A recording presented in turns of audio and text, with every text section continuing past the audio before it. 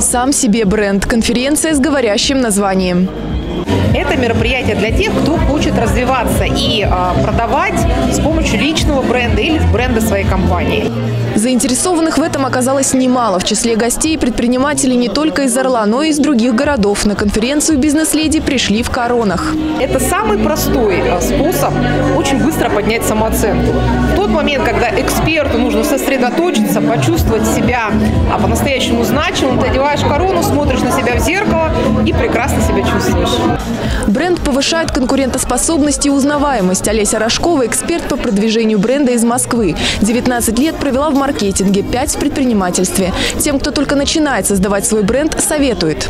Мы должны представить, что мы как магазин. И а, наш личный бренд – это как витрина нашего магазина. И витрина притягивает к нам аудиторию. Поэтому нам важно упаковать свои соцсети, обеспечивать присутствие в СМИ, как я сегодня. Это все работа над инфополем.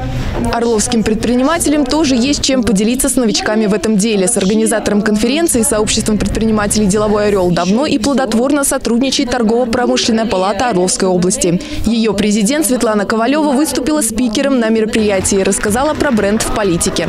Прежде чем идти в политику и вообще вот вести социальные сети, нужно понимать, что можно выкладывать, а что нельзя.